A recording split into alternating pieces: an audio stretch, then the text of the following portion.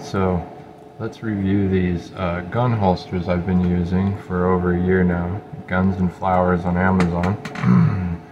um, they uh, have different ones. Uh, so the first one, first one is Inside the the waistband. inside the waistband concealed carry. Um, I, I get these from my Taurus G3C Toro.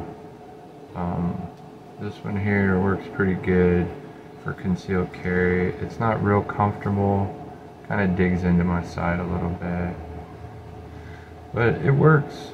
Uh, works really well. Has retention screw on it, so it really locks in. Yeah, uh, you can see where it digs in a little bit. Uh, chubby. So, um, yeah. And then the next one I had for over a year. I took camping and stuff. I wouldn't suggest getting one of these.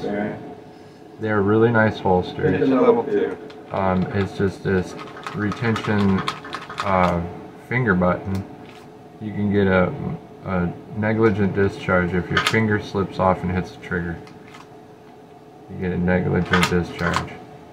Um, works for my gun because of the way the shape is. Also, too, if you're wrestling around with somebody, get dirt in there, you're not going to be able to pull your gun out.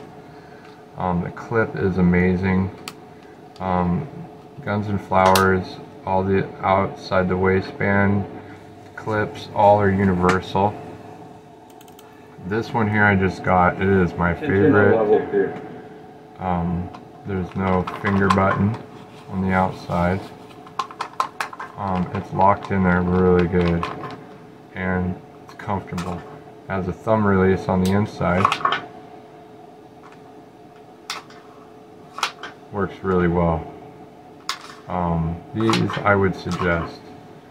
Um, also too, is it has the, it is so comfortable. Works really good. Really like This this one. my favorite one. Uh, Guns and Flowers. Check them out on Amazon.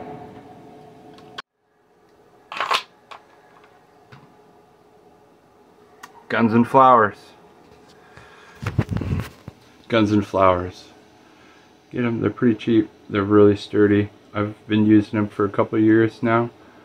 Uh, I've taken them camping, uh, all that stuff. So. Hey, so leave a like, comment, subscribe, all that stuff really helps the channel. trying to get to a thousand, so let's do it.